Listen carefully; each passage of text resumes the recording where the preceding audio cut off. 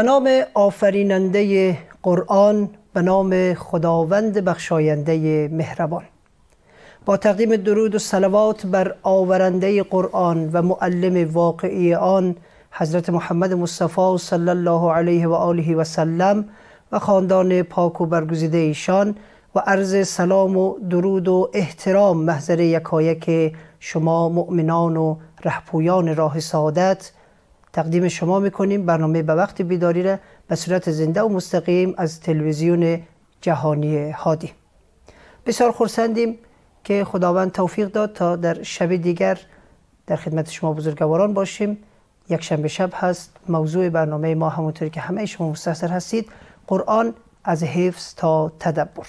موضوعی که بسیار مورد علاقه شما ایزال واقع شده مورد استقبال شما و در فضای مجازی از آمارهایی که دوستان ما به دست آوردن. به این نتیجه رسیدیم که این موضوع بسیار علاقمندان زیادی داشته و خوشحال هستیم که این موضوع با توجه به این استقبال شما ایزان همچنان بسیار مهم و فعال پیش میره. انشالله که بتوانیم امشب هم در خدمت استاد محترم جناب آقای موسوی باشیم و از ایشان استفاده کنیم. آقای موسوی هستند با موضوع قرآن از حفظ تا تدبر. استاد سلام علیکم. شب شما بخیر.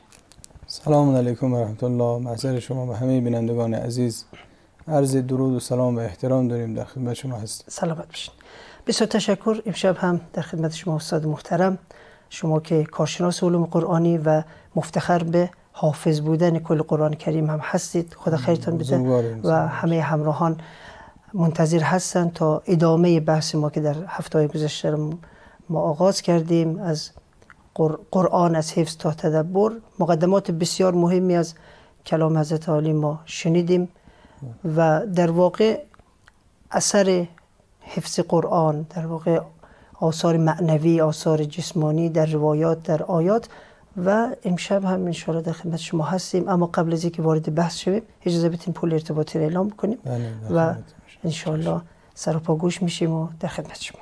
بفرمایید. نمبر مثبت 964 780 255 40 13 در خدمت شما بزرگواران هست.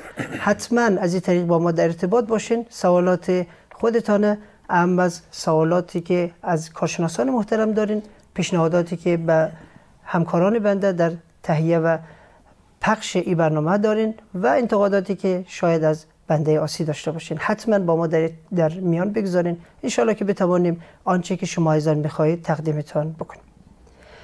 جناب استاد رمزانی عزیز عزیزان استاد موسوی عزیز استاد همه مستحضر هستن که بحث ما از حفظ تا تدبر. در واقع ما در ابتدا مقدماتی از حضرت علی شنیدیم در مورد حفظ قرآن حالات روحی یک حافظ قرآن چه آثاری داره در زندگی برکاتی که داره سن مناسب حفظ قرآن را هفته قبل در خدمت شما یاد گرفتیم و امشب می‌خواهیم که از شما به صورت تخصصی به صورت کاملا دقیق در مورد روش های حفظ قرآن بهترین روش ها آسان ترین روش ها انشالله یاد بگیریم و در خدمت شما هستیم. انشالله اعوذ بالله من الشیطان الرجیم. بسم الله الرحمن الرحیم. الحمد لله رب العالمین و صلی الله علی سیدنا محمد و آله الطاهرین و لعنت الله علی اعدائهم اعداء الله اجمعین من الان الى لقاء یوم الدین همونطوری که اشاره فرمودین در جلسات قبل در رابطه با فضائل حفظ قرآن که چی فضیلتی داره بله.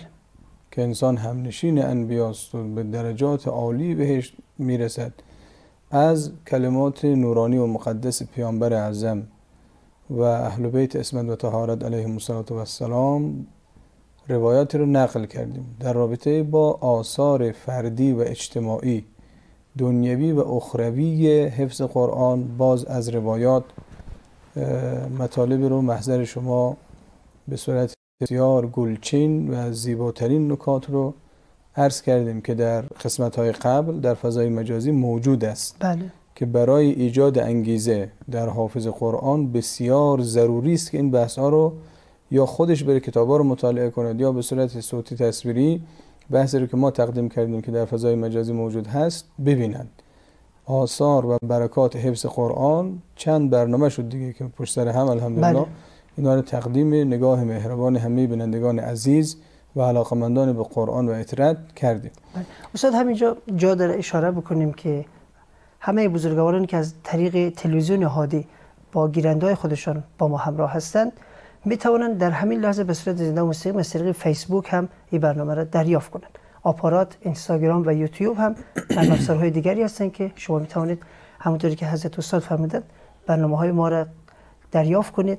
برنامه هایی که به صورت سلسله وار استاد عزیز سعی کردند مباحث مهم و گلچین شده قرآن از حفظ تا تدبر بر ما ارائه بدن. در خدمت شما هستیم بزرگوارید عرض می‌کردیم که اگر کسی می‌خواهد ایجاد انگیزه شود و با یک انگیزه مقدسی حفظ قرآن شروع بکند لزوما باید روایات این باب رو ببیند. حالا یا خودش در کتاب های روایی مطالعه کنه اگر سواد مطالعه متون عربی را دارد.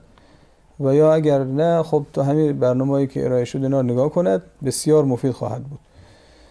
خب بحثی که امشب در محضر شما هستیم بحث بسیار مهمیه و من احساسم اینه که یک بخش عمده تدارک این برنامه به خاطر همین است که این روش های حفظ را ما به نوجوانان، جوانان و خانواده محترم مسلمان و قرآنجو و معتقد به قرآن منتقل بکنیم تا نونهالان، نوجوانان، جوانان عزیز به راحتی بتوانند کلام وحی را حفظ بکنند.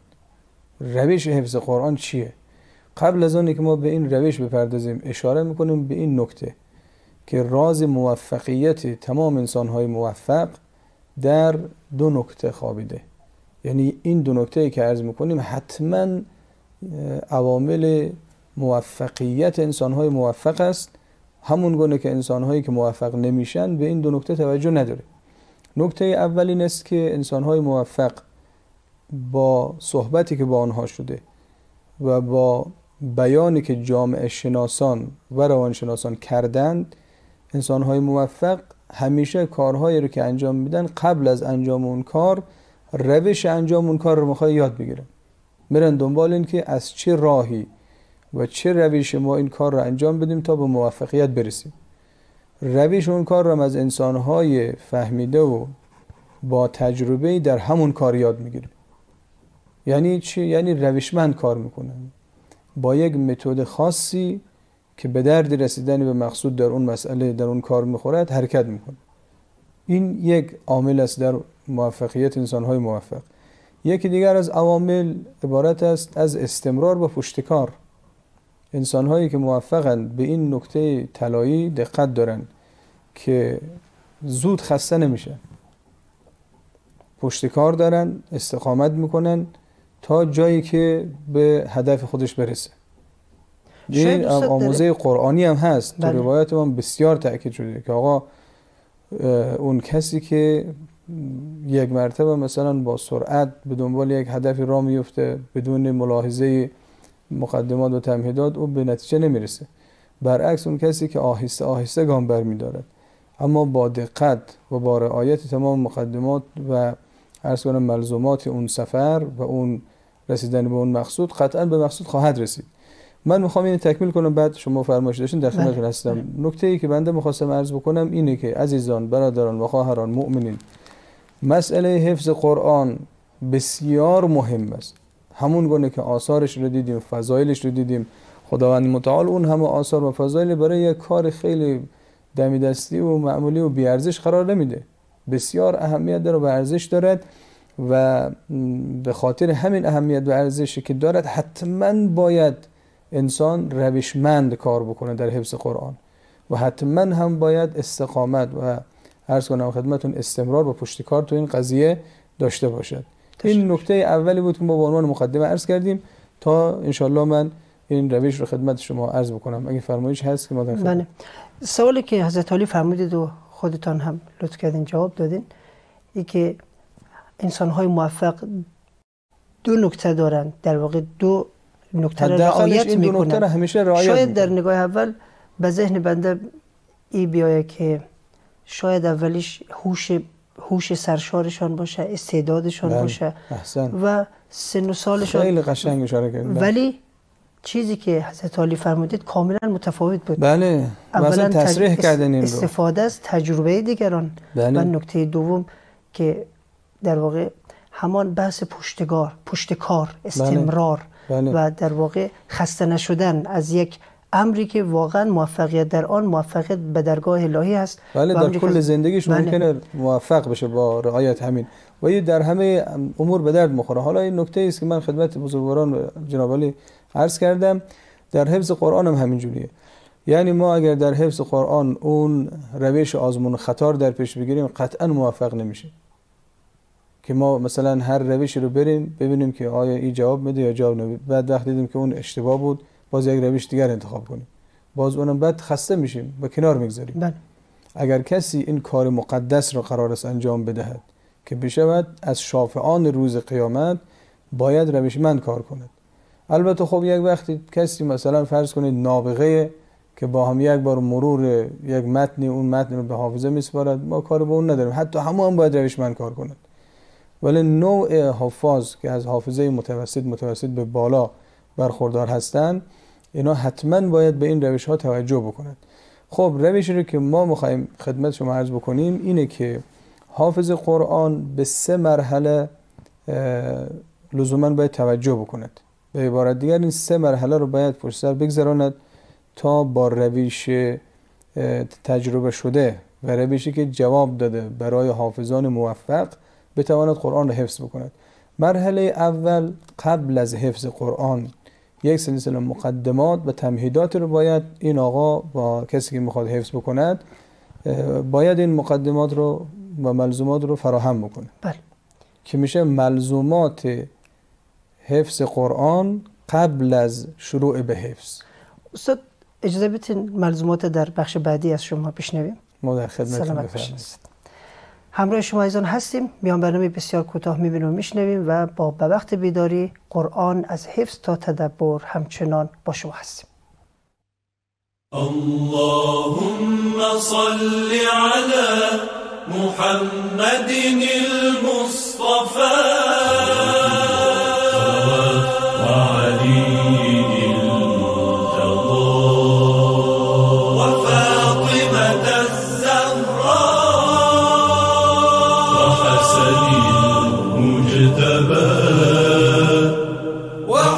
الحسين الشهيد ومحمد المهدي.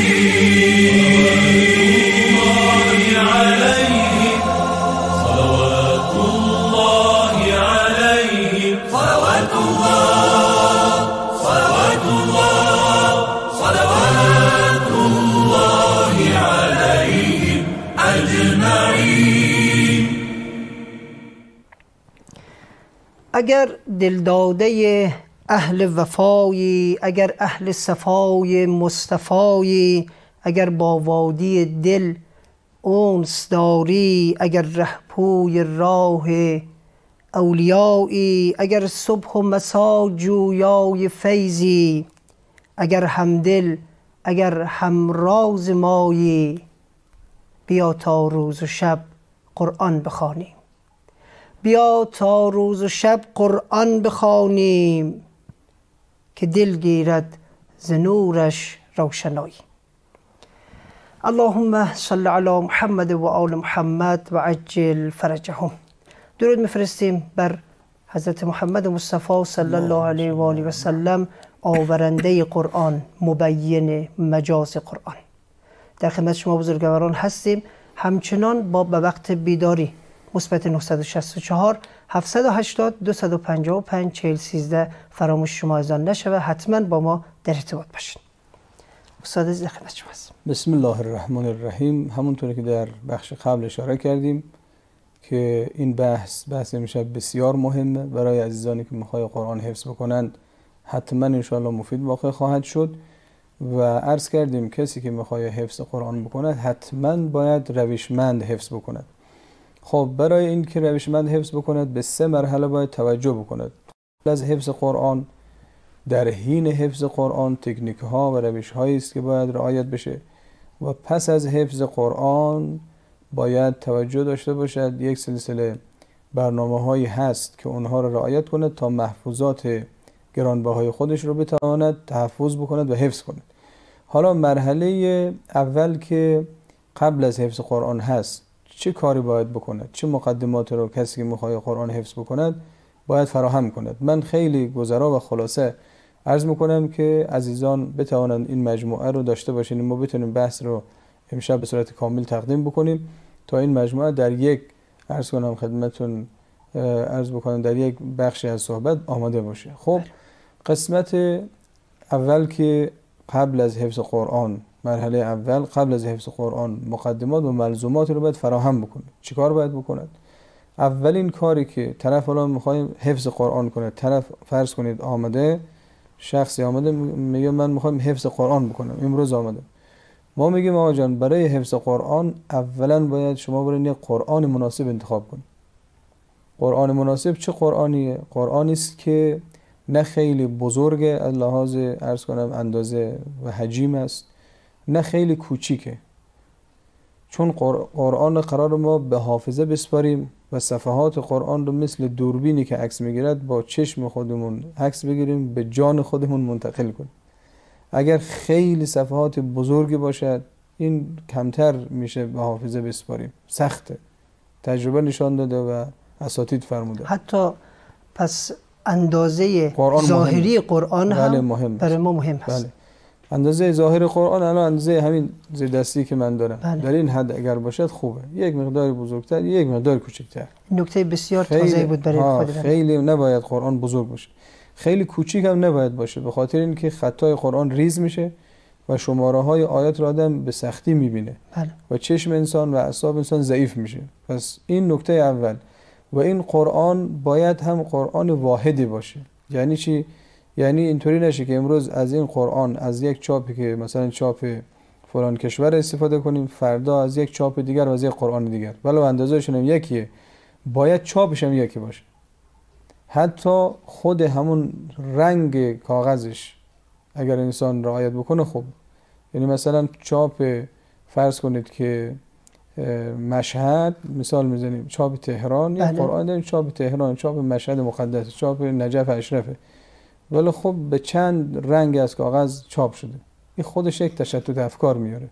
باید همون قرآن پس یکی باشه. اندازش متوسط و یک قرآن باشه. چاپش هم حالا که معمولا حفظ می‌کنن از این چاپ هایی هستش که شخص به نام عثمان تاها خطاطی کرده و این بین ارز کنم جهان اسلام توضیح شده. حالا به خاطر مسلحت هایی گفتن همین یک قرآن باشد. تقریبا هم دیگه در همه کشورها پیدا میشه. گرچه که خب اشتباهات چاپی ممکنه بعضی از اشکالات توش هست و در چاپ های بعدی حالا تا حدود برطرف شده. اما خب این قرآنی که الان معرفی شده قرآن عثمان ها خوبه به خاطر اینکه اول هر صفحه از اول آیه شروع میشه و آخر صفحه هم با آخر آیه ختم میشه. بله. یعنی صفحات طوریه که آیه نصفه نیامده قیچی نشده.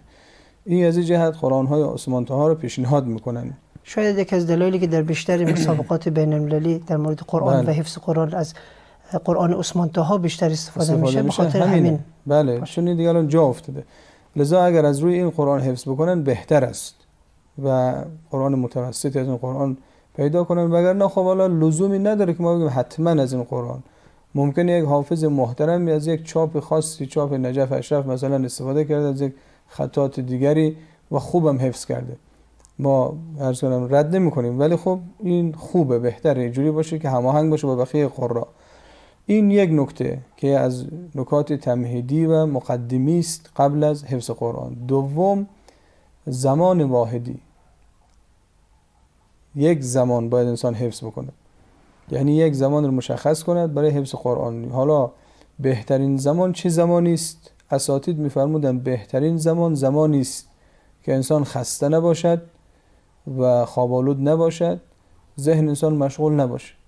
حالا این مصداقش ممکنه در زندگی افراد متفاوت باشه. بعضی از افراد ممکنه بعد از نماز صبح این حالت سرحالی رو داشته باشه. به شرطی که همونطوری که در دین آمده زود بخوابیم و سر حال سحر بلند شویم. قبل از نماز صبح حالا مثلا برنامه حفظ خودش رو بگذارد که او دیگه هزاران برکات دیگر رو داره.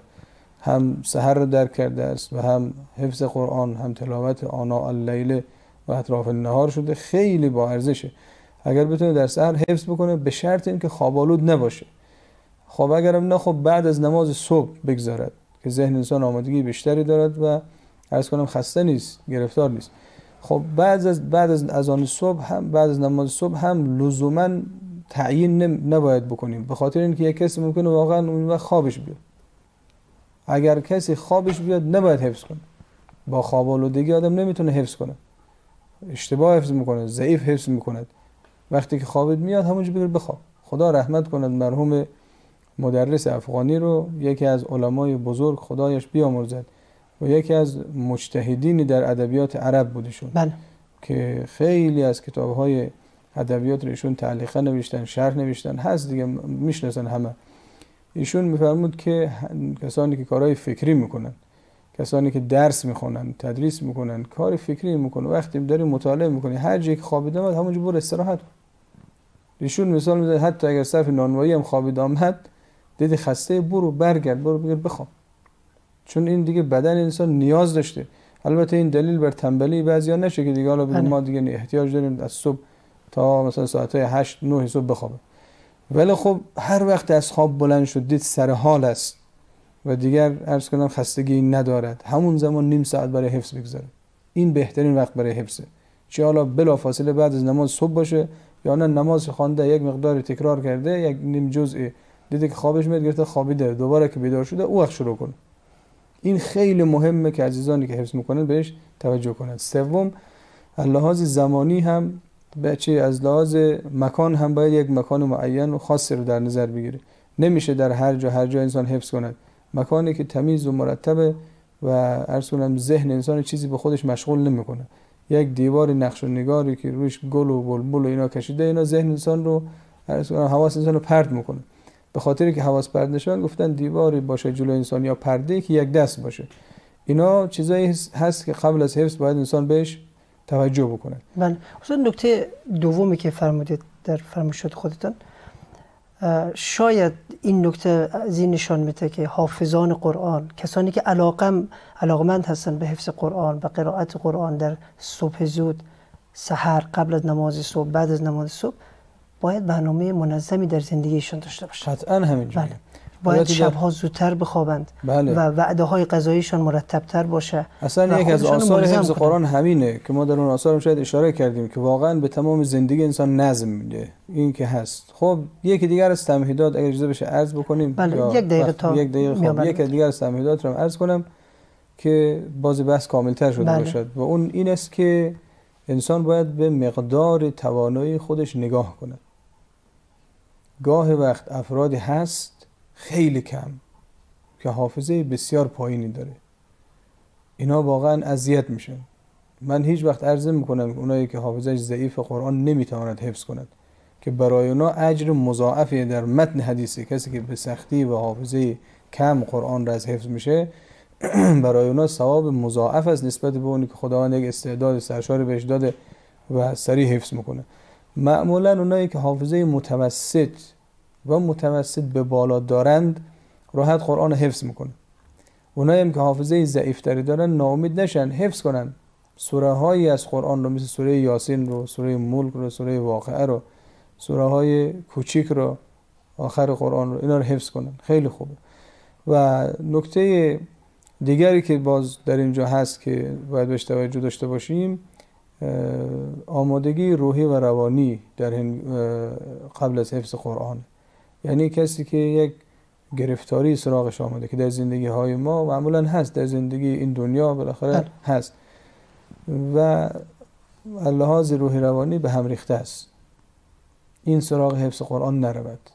یعنی چی آقا؟ بره تلاوت بکند که با قرآن به آرامش برسه. بله. اما سعی نکند که با فشار آیات رو به ذهن خودش با حافظه خودش بسپاره. چون هم برای انسان ممکنه فشار بیاد فشار روی اعصاب انسان و هم ممکن است که کیفیت حفظ پایین بیاد. بله.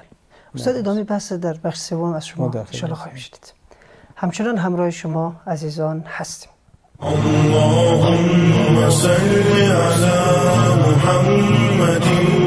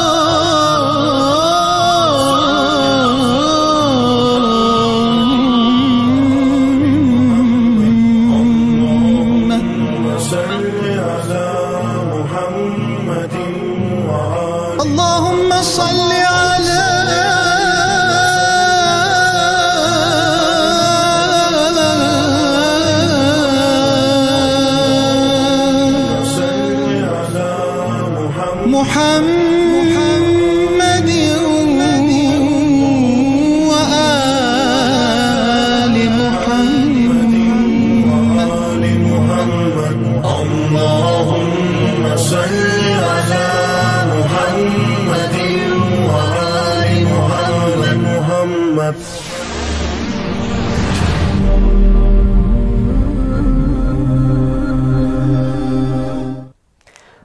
تو گر خواهی سخن گوید خدا قرآن بخوان. با تو گر خواهی سخن گوید خدا قرآن بخوان. تا شود روح تو با حق آشنا قرآن بخوان.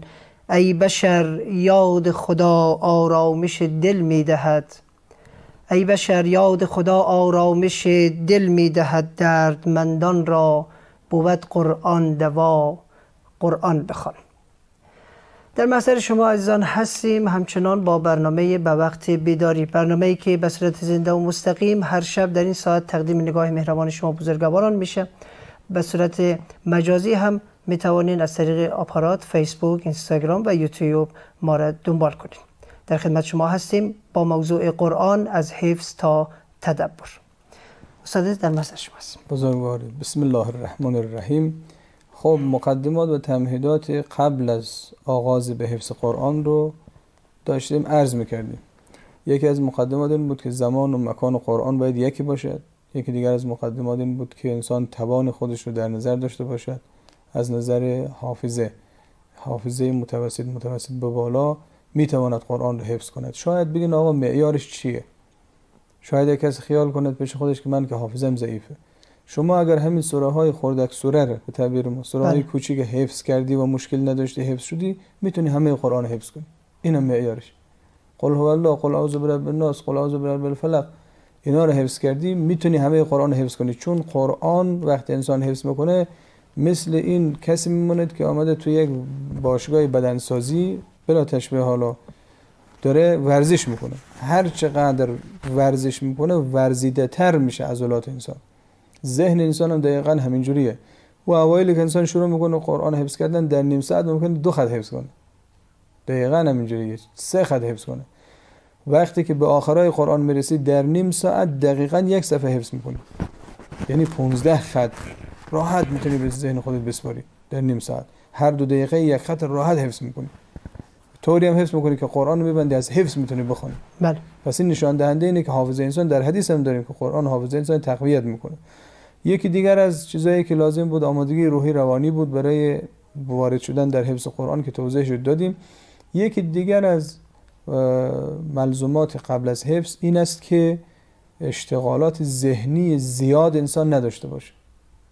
مثلا یک کسی که پیوسته در کارهای اداری و کارهای بازار و چک دادن و نمی‌دونم رسیدگی به به ها و فاکتورها و اینها سر و کار داره. این خیلی ذهنش مثلا درگیره. اون زمان حفظ نکنه. یک ساعتی از روز رو بگذارد یک زمان رو بگذاره که از اون حالات درگیری ذهنی کلا فارغ شده و به دامن قرآن اون زمان پناه ببرد که به آرامش برسه و بتواند انشالله آیات نورانی قرآن رو به درستی حفظ کنه. خیلی وقتا ممکنه طرف همونطور که در همون مسیری که سر کار خودش میره یک روبه یا یک 20 دقیقه وقت داره از این وقتا استفاده کنید. خیلی راحت میشه آیات نورانی قرآن در همین ساعت آدم به حافظه بسپاره. صوت می‌ذاره در داخل ضبط ماشین کم کم کم کم ذهن انسان آشنا میشه بعد دو سه بار که مرور بکنه حفظ میشه. خب اینم یک نکته است که انسان باید بهش توجه داشته باشد.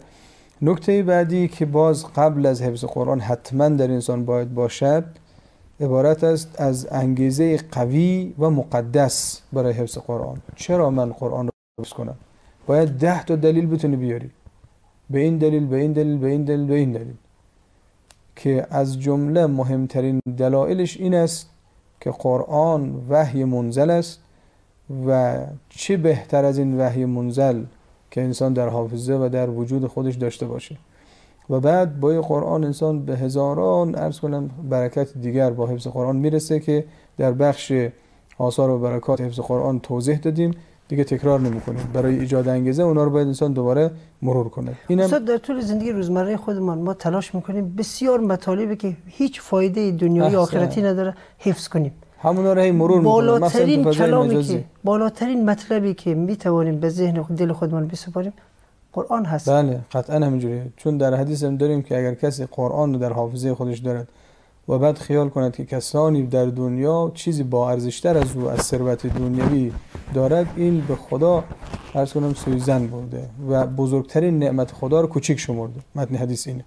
خب یکی دیگر از ملزومات قبل از حفظ این است که انسان اخلاصی در حفظ قرآن داشته باشه. فقط به فقط به خاطر اینکه قرآن کلام خداست و خدا دوست دارد قلبی رو که در اون قرآن موج بزند این حفظ بکنه. پیامبر اسلام فرمود که دوست دارم قلب قرآن در قلب پیروان من می بود. قلب قرآن سوره مبارکه یاسینه. بله. خیلی واقعا ما کوتاهی می‌کنیم. ممکنه خیلی از افراد ما اشعاری بلد باشیم ترانه خدا نکرده بله. ناباب حفظ داشته باشیم. ولی قرآن حفظ نداشتیم. خیلی بده. خب اینم یکی از چیزهایی بود که انسان باید بهش توجه بکنه تا بتواند انشالله حفظ قرآن رو به صورت صحیح انجام میده این مراحل قبل از حفظ بود. اما مرحله هنگام حفظ قرآن که این بسیار مهم است که می‌شود روش حفظ قرآن. خب ما برای شما بزرگواران عزیزان بینندگان محترم یک روش جامع رو عرض می‌کنیم و کلیات این بحثش رو میگیم در همین جلسه.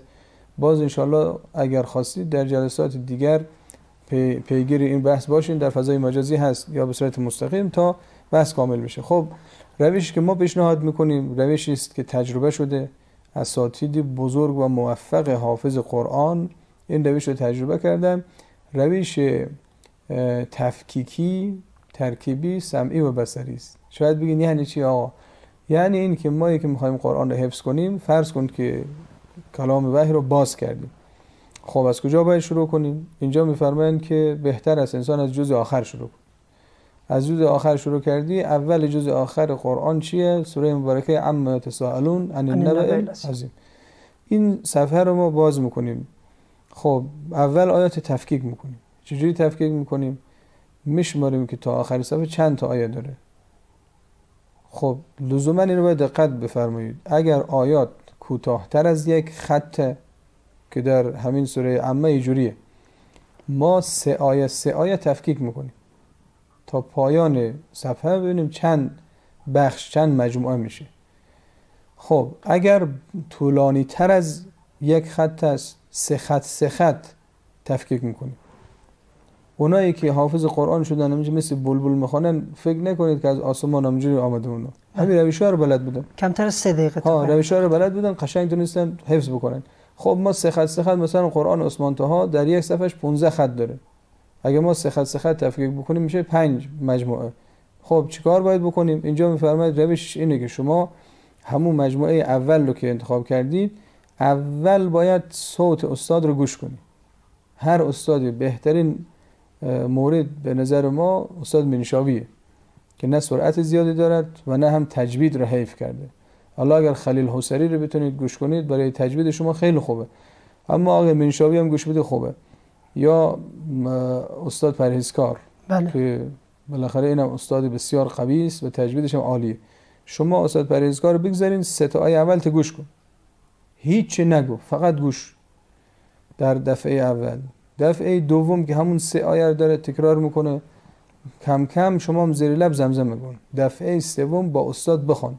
این که می‌خوانی ممکنه شما دو بار سه بار بخوانی با استاد. اشکالی نداره. اینجا شما اشکالات تلفظیت برطرف شده. ترتیل هم تا حدود شنیدی به ذهن سپردی و این از کنم پژواک آیات وحی در ذهن شما تاثیر گذاشته. خب اینجا بعد صوت استاد رو کنار می‌ذاری قد می‌کنی. بعد شروع می‌کنی به حفظ کردن. چه جوری شروع می‌کنی؟ همون آیه اول رو با قطع نظر از آیات بعدی حفظ می‌کنی. مثلا میگی عما یتساءلون. خب حفظ شدی؟ می‌بینی که حفظ شدی. بعد میری میگی عن النبأ العظیم. آیه بعدی. اگر در یک بار حفظ نشدی دو بار سه بار چهار بار. بعد این آیه بعدی. اما يتساءلون عن النبأ العظیم. الذی هم فیه مختلفون. الذی هم فیه مختلفون. تکرار می‌کنی بله. این سه تا آیه رو جدا جدا تکرار می‌کنیم و شماره هاش به ذهن میسپاریم. اما يتساءلون شماره یک. عن النبأ العظیم دو. اینا رو به حافظه میسپاریم. بعد از اینه که هر سه آیه رو به صورت متقن حفظ کردیم باز از اول برمیگردیم. اما یتساءلون عن النبع العظیم الذی هم فیه مختلفون. اینجوری حفظ می‌کنیم که اینا با همدیگر ترکیب بشه. تفکیکی ترکیبی سمعی و بصری. سمعی و بصری. بله این تفکیک کردیم اول جدا جدا حفظ کردیم. بعد ترکیب کردیم با همدیگر جوش خوردیم. اینا سمعی هم هست که گوش دادیم صوت استاد رو. بصری هم هست که دقیقا میگه باید خوب نگاه کنیم. پس اگر می‌خوایم که خوب ما قرآن رو حفظ بکنیم باید خوب به صوت استاد گوش بدیم خوب نگاه بکنیم و خوب تکرار کنیم. وقتی این روش رو شما در این مجموعه اول به کار بستید این مجموعه اول با شماره آیات تو ذهنت میمانه خیلی راحت هم اینجوری حفظ میشه. بعد میری سراغ سه آیه بعدی. عین همین روش رو در سه آیه بعدی پیاده می‌کنی. با این اضافه که سه آیه بعدی رو وقتی تکی تکی حفظ کردی تفکیک کردی بعد دوباره ترکیب کردی بعد خدمتون ارز کنم اون حالت سمعی و بصری گوش دادی باز دوباره این مجموعه اول رو که سه آیه اول بود با اون سه آیه دوم دوباره تکرار می‌کنی بله. که با تکرار این در واقع این مجموعه اول با مجموعه دوم متحد میشه و با همدیگر حفظ میشه. حفظ میشه. استاد عزیز من پیشنهاد می‌تونم به همه بزرگواران و خودم که حتما منتظر بمانیم تا هفته بعد انشالله در ادامه مباحث آموزش های شما استاد گرامی همراه شما باشیم. از شما خداحافظی می‌کنیم. از شما عزیزان هم خداحافظی می‌کنیم. انشالله که در هفته های بعد همراه استاد موسوی عزیز با موضوع قرآن از حفظ تا تدبر بتوانیم در خدمت شما بزرگواران باشیم. برنامه به پایان می‌بریم. با صلوات بر محمد و آل محمد. اللهم صل علی محمد و آل محمد و عجل فرجهم.